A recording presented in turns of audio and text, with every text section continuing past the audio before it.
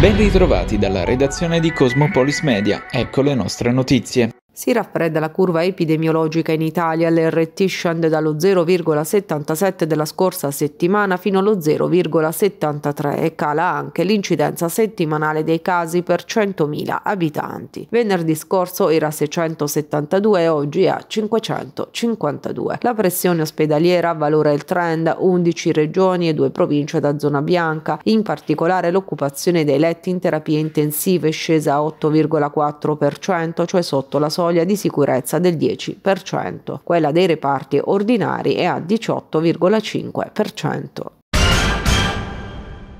Coronavirus. Il bollettino del 24 febbraio segnala 46.169 nuovi casi e 249 decessi in Italia. Il tasso di positività scende al 9,5%. Continua a calare l'occupazione ospedaliera. Sono 839 le persone attualmente ricoverate nelle terapie intensive e 12.125 i degenti in area non critica. In Puglia il bollettino regionale segnala 3.652 casi e 9 decessi nelle ultime 24 ore. Nel Tarantino Trentino attestati 443 nuovi contagi. Al momento nella regione sono 83.307 le persone positive al Covid, di cui 44 ricoverate in terapia intensiva e 689 in area non critica.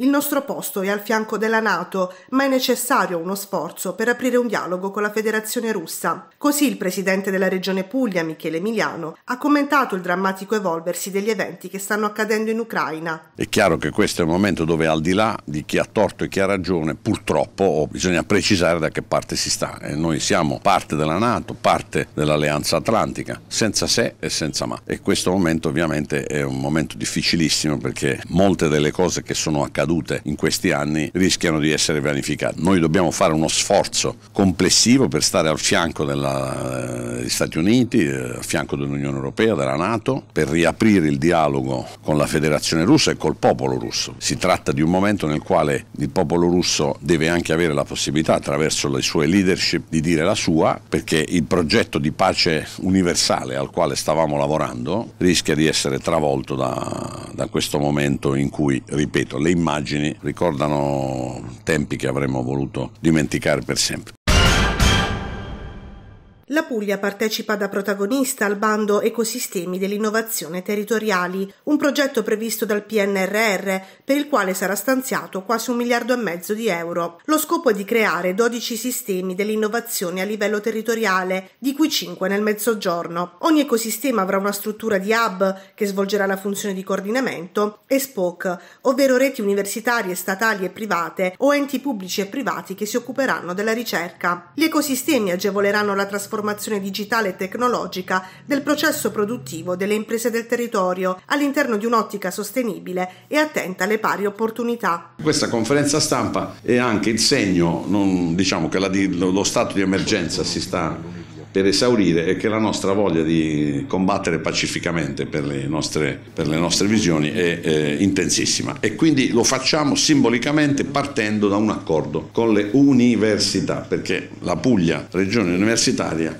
non esclude nient'altro, cioè dentro una regione universitaria ci può stare tutto il resto, viceversa, tutto il resto in una regione che non abbia al, al cuore la formazione, non abbia al cuore la ricerca scientifica, non abbia al cuore la, la, volontà di rispondere ai quesiti più difficili, è difficile che possa esistere. Cioè, provate a immaginare un luogo dove c'è grande progresso economico, però nessuno studia, nessuno impara e nessuno fa ricerca, non è possibile. È un progetto unitario delle università pugliesi proposto dall'Università di Bari e presentato dall'Università di Bari insieme alla Regione che prevede il coinvolgimento di molte aziende e che vede un impegno nelle linee del PNRR per 167 milioni e uno sviluppo tematico che riguarda la salute dell'ambiente e dell'uomo, temi centrali per lo sviluppo di una regione che vuole avere un ruolo unitario nella ricerca per la pace nel mondo. Il tasso di mortalità per alcuni specifici tipi di tumore è superiore alla norma nel comune di Taranto e nelle città poste sotto vento al sito ionico. A confermarlo un nuovo studio pubblicato dalla rivista Sustainability dal titolo Provocatorio Taranto's Long Shadow, l'ombra lunga di Taranto, prodotto da Roberto Cazzolla Gatti, professore dell'Università di Bologna, e dalla dottoressa Alena Velicheskaia dell'Università Statale di Tomsk. Sono stati analizzati i tassi di mortalità degli ultimi ultimi 10 anni per 15 principali tipi di tumore segnalati tra i residenti a Taranto di 8 comuni limitrofi Acquaviva delle Fonti, Casamassima, Santeramo in Colle, Gioia del Colle, Putignano, Noci, Castellaneta e Massafra, collocati all'interno di un cono immaginario nella direzione del vento principale dal vertice della zona industriale tarantina e delle due province coinvolte, quella ionica e quella barese. Ripartirà il 3 marzo l'acciaieria 1 dell'ex Silva di Taranto, ferma dallo scorso dicembre. Conseguentemente sarà richiamato al lavoro il personale necessario. Questo è quanto ha comunicato ai sindacati metalmeccanici Acciaierie d'Italia, aggiungendo che dalla prima decade di marzo, con la ripartenza dell'altoforno 4, anche l'acciaieria 2 riprenderà a funzionare a pieno regime. Andato di scena stamattina nella città vecchia di Taranto all'interno del Dipartimento Ionico dell'Università di Bari il seminario su pesca sostenibile, protezione e ripristino della biodiversità marina che ha illustrato i risultati del progetto Sama 19 realizzato con fondi regionali da diverse associazioni del settore. Durante l'iniziativa presentata la ricerca sviluppata dalla cooperativa Coispa Tecnologia e Ricerca, oltre che il bilancio della campagna di smaltimento dei rifiuti accidentalmente raccolti raccolti in mare durante le attività di pesca svolte in collaborazione con la Chima Ambiente di Taranto che ha coinvolto 41 imbarcazioni delle cooperative tarantine Opiste, La Maris e Nuova Marionio. Sì, le attività di pesca negli ultimi vent'anni sono state messe molto in discussione dalle politiche sia degli enti sovranazionali legati alla FAO sia dal, dall'Unione Europea. Eh, l'approccio che è stato sempre seguito è stato quello della riduzione delle, delle imbarcazioni e su questo poi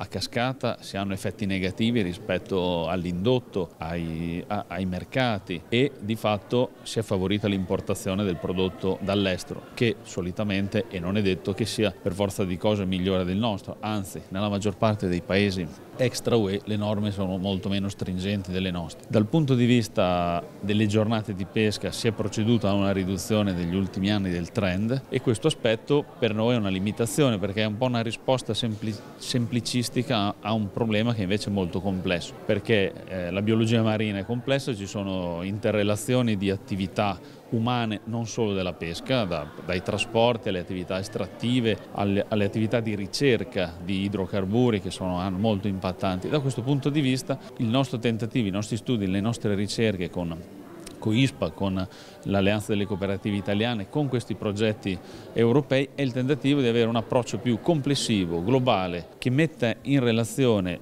eh, le attività della pesca fatte in un modo corretto, eh, privilegiando alcune scelte eh, dal punto di vista delle specie eh, non giovanili oppure delle aree di rispetto rispetto alle coste, le, in rispetto delle aree di, di nursery dove questi, le specie si possono riprodurre e dare quindi dei, un numero complessivo di adulti maggiore. Questo aspetto è prima di tutto da studiare, da verificare e noi lo vogliamo studiare e verificare, lo abbiamo fatto con la collaborazione dei pescatori e non vedendo i pescatori come un problema, ma come parte eh, della soluzione del problema. Vibonese Taranto ripartirà dal 51 minuto mercoledì 9 marzo alle ore 14.30 così come decretato dal presidente della Lega Italiana Calcio Professionistico. Il match era fermo sullo 0-0 quando un grosso banco di nebbia aveva costretto l'arbitro a sospendere l'incontro. Nel frattempo non arrivano buone notizie dall'infermeria rosso-blu. Calica Manneo uscito per infortunio nella gara col Catanzaro ha riportato un trauma distrattivo del bicipite femorale destro destro, mentre per Vincenzo Barone la risonanza magnetica ha evidenziato una lesione parziale preinserzionale della fascia plantare. Per lui si prevede un lungo periodo di stop. Questa era l'ultima notizia. Dalla redazione di Cosmopolis Media è tutto. Al prossimo notiziario.